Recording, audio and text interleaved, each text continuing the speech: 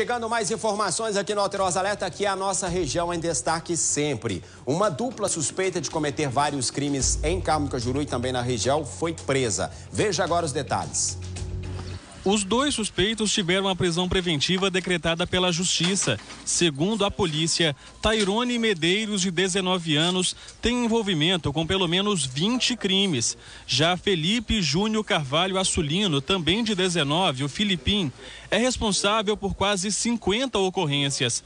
As investigações mostram que juntos eles fizeram uma série de assaltos. Eles agiam há pelo menos três meses e os levantamentos da Polícia Civil apontam que eles alugaram um sítio em Carmo do Cajuru, aonde eles traziam todos os proventos do crime. Inclusive chegaram a deixar lá um veículo e algumas bicicletas que foram aí roubadas no dia que houve aqui uma competição na cidade de Carmo do Cajuru. De acordo com a polícia, os alvos da dupla eram bastante variados. Tudo aquilo que era possível se monetizar, seja veículos, seja joias, seja dinheiro, seja objetos como bicicletas, tudo aquilo que era possível obter-se lucro, eles uh, efetuavam os roubos. Felipe e Tairone negam envolvimento com os roubos e se dizem vítimas de uma perseguição da polícia. Os caras gostam de arrumar pros outros, é, eu falei a verdade. A polícia diz que você é suspeito de uma série de assaltos. Ixi, isso aí eles falaram também, cadê a prova? Quer ver a prova ali, ó. Não participou? Não participei de nada, eu tava trabalhando com meu pai.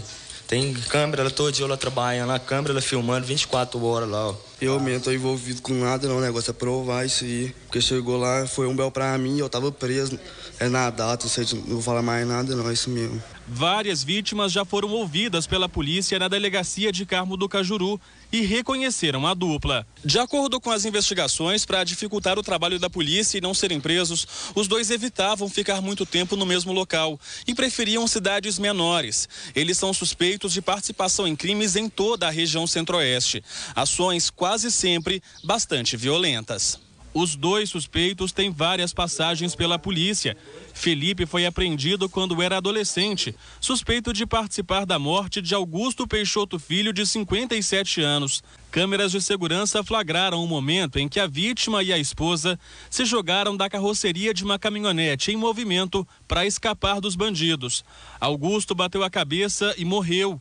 O crime foi em 2017, em Carmo do Cajuru. A princípio, a Polícia Civil acredita que não só o veículo seria levado, mas também possivelmente seria sacado alguma quantia em bancos aqui na cidade de Carmo do Cajuru, bem como ainda eventual ida à, à residência deles para levar objetos também. Felipe confessa envolvimento com o caso, mas diz que mudou de vida desde então. Aconteceu isso, realmente aconteceu. Depois disso, eu nunca mais, eu fiquei de maior, eu nunca mais mexi com nada, não. Os caras não gostam de mim, não. A polícia acredita que mais vítimas possam reconhecer os dois e pede ajuda da população. A Polícia Civil pede a toda a população que, se os reconhecer, procure a sua delegacia da cidade. Por quê?